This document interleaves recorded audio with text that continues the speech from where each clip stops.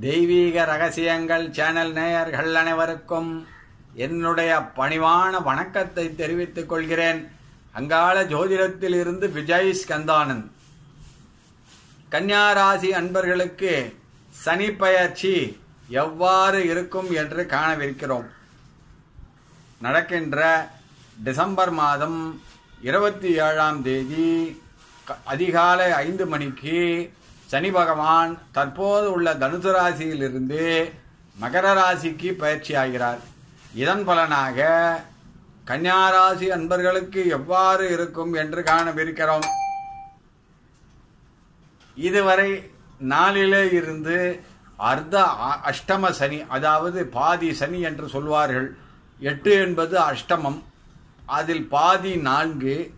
நான்கில் வரும் பொழுது அஷ்டம சனியின் கஷ்டத்தில் பாதி அளவுக்கு கொடுப்பார் என்பது அனைவருக்கும் தெரிந்தது. இப்போ கன்னியாராசி அன்பர்களுக்கு நாலாம் பாவத்தில் அர்த்தாசிரம சனி முடிந்து ஐந்தாம் பாவமாக சொந் தன் சொந்த இல்லத்திற்கு சனி பகவான் பயிற்சியாகிறார். இதன் பலனாக பூர்வ புண்ணியாதிபதி தன்னுடைய இல்லத்திற்கு வருவதால் கன்னியாராசி அன்பர்களுக்கு அனைத்திலும் நன்மை நடக்கப் போகிறது. ஏற்கனவே குரு அங்கே தான் இருக்கார். நவம்பர் பதினஞ்சு ரெண்டாயிரத்தி இருபதாம் ஆண்டு நவம்பர் பதினைந்தாம் தேதி குரு பகவான் பயிற்சியாகி மகரத்தில் இருக்கார். அந்த இடத்துல இப்போது சனி பகவான் செல்ல போகிறார் ஆக குருவும் சனியும் சேர்ந்து ஐந்தாம் இல்லத்தில் இருந்து ராசியை குருவும் ராசிக்கு இரண்டாம் பாவத்தை சனியும் பார்க்கிறார்கள். இதன் பலனாக கன்னியா ராசி அன்பர்களுக்கு பெருத்த யோகம் ஏற்பட போகிறது. அதாவது லக்னத்திற்கு அதாவது ராசிக்கு ஐந்து என்பதால் சொந்த இல்லம் என்பதால் வீடு வாகனம் மாடி வீடு தோட்டம் துறவு போன்றவை ஏற்படும். உயர் கல்வி ஏற்பட போகிறது. இதுவரை திருமணமாகாமல் இருந்த கன்னியாராசி அன்பர்களுக்கு இப்பொழுது திருமணம் கூட போகிறது.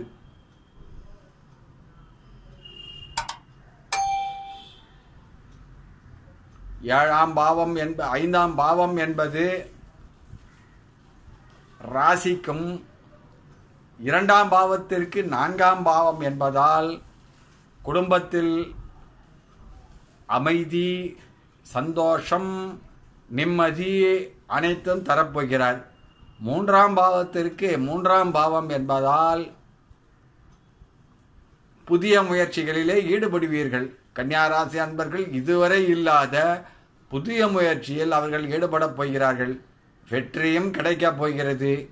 புதிய தொழிலாக இருக்கலாம் புதிய கல்வியாக இருக்கலாம் புதிய வேலையாகவும் இருக்கலாம்.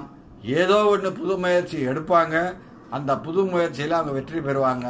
நாலாம் பாவத்திற்கு இரண்டாம் பாவம் என்பதால் சொந்த இல்லம் என்பதால் வீடு கட்டக்கூடிய பா பாக்கியம் வாகனம் வாங்கக்கூடிய பாக்கியம் இப்பொழுது அமையப் போகிறது. இந்த கன்னியா ராசி அன்பர்களுக்கு ஐந்தாம் பாவாதிபதி ஐந்திலே இருப்பதால் பூர்வ புண்ணியம் வலுக்கிறது. ஆறாம் பாவத்திற்கு விரயம்ங்கிறதுனால கடனெல்லாம் அடைய போகுது. நோயெல்லாம் விலக போகுது. சத்துருவெல்லாம் அழிய போறாங்க. இந்த கன்னியாராசி அன்பர்களுக்கு ஐந்தாம் பாவத்திலே சனி பகவான் வரும் பொழுது ஏழாம் பாவத்திற்கு பதினொன்றாவது இல்லைங்கிறதுனால கல்யாணம் ஆகாதவங்களுக்கு கல்யாணம் ஆகும். பொது வாழ்க்கையில் ஈடுபடுறவங்களுக்கு லாபம் உண்டாகும். எட்டாம் பாவத்திற்கு பத்தாம் பாவம் என்பதால் திருமணம் நடக்கும் நிச்சயம் நடக்கும். ஒன்பதாம் பாவத்திற்கு ஒன்பதாம் பாவம் என்பதால் அதிர்ஷ்டத்தை அள்ளி அள்ளி தரப்போகிறார் இந்த சனி பகவான். அதிர்ஷ்ட ஸ்தானத்திற்கு அதிர்ஷ்ட ஸ்தானம் ஆக சுக்கரனும் நண்பர் சனி பகவான் நண்பர் சுக்கரனும் சனியும் நண்பர்கள். ஆக அதிர்ஷ்ட ஸ்தானத்திற்கு அதிர்ஷ்டம் கிடைக்கப் போகிறது. அந்த அதிர்ஷ்ட வீட்டை குரு பார்க்கிறார். அங்கே ராகு அமர்ந்திருக்கிறார். அந்த ஒன்பதாம் பாவத்தில் உள்ள ராகுவை குரு பார்க்கிறார். சனி பகவானுடைய நண்பர். ஆக எந்த விதத்தில் பார்த்தாலும் நன்மை நன்மை நன்மை. பத்தாம் பாவத்திற்கு எட்டாம் பாவம் என்பதால் சிலருக்கு வேலையை விட்டு சொந்த தொழில் ஆரம்பிக்கும் அமைப்புகள் ஏற்பட போகிறது. இதுவரை வேலையில் இருந்தவர்கள் சிலர் வேலையை ராஜினாமா செய்துவிட்டு சொந்த தொழில் ஆரம்பிக்கலாம். அல்லது தனக்கு பிடிக்காத இடத்தில் வேலை மாற்றம் செய்வதற்கு வாய்ப்புகள் உண்டு. ஆக இந்த பயிற்சியாகப்பட்டது நன்மையை செய்யும். பதினொன்றாம் பாவத்திற்கு கூட்டு ஸ்தானம் அதாவது ஏழாம் இல்லம் என்பதால் நினைத்தது அனைத்தும் ஜெயமாகும். பன்னிரெண்டாம் பாவத்திற்கு சத்ருஸ்தானம் என்பதால் விரயமே இருக்காது செலவே இருக்காது. அனைத்தும் லாபம்தான். லாபம் லாபம் லாபம். கன்னியாராசி அன்பர்களுக்கு மிகுந்த லாபம் பெருத்த லாபம். ஒன்பதிலே ராகு ஐந்திலே சனி பகவான் ஐந்திலே குரு பகவான் மூன்றிலே கேது பகவான். உச்சம் உச்சம் உச்சம். உங்களை உச்சத்தில் ஆழ்த்த போகிறது. இந்த கிரகங்களுடைய சேர்க்கை கூட்டு அனைத்தும் ஆக அனைத்தும் நன்மை நன்மை நன்மை. நீங்கள் விருப்பப்பட்டால் சனிக்கிழமை தோறும் சுத்தமான நல்லெண்ணெயில் நவகிரகத்திற்கு விளக்கேற்றுங்கள். சுத்தமான நல்லெண்ணெய் என்பது வேறு எண்ணெயோடு கலந்திருக்கக்கூடாது அதாவது நெய்யும் ந- நல்லெண்ணெயும் கலக்கிறேன். நெய்யும் வேற ஒரு தேங்காய் எண்ணெயும் கலக்கிறேன். நெய்யும் இழுப்பை எண்ணெயும் கலக்கிறேன். இப்படியெல்லாம் கிடைக்கக்கூடாது. இப்படியெல்லாம் கலந்து நீங்கள் விளக்கேற்றுனீங்கன்னா நிச்சயம் வந்து உங்கள் வீட்டில் இருக்கிற தெய்வம் வீட்டை விட்டு போயிடும்.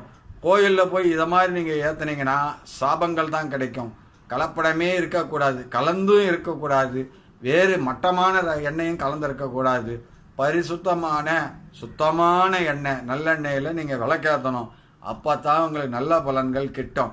இந்த விளக்கேற்றதை பற்றி சந்தேகங்கள் இருக்கிறவங்க என்ன நீங்கள் அணுகலாம். உங்களுக்கு நான் விளக்கங்கள் சொல்கிறேன் வழிகள் சொல்கிறேன் அங்காள ஜோதிடத்தில் இருந்து விஜய் ஸ்கந்தானந்த் நன்றி வணக்கம்.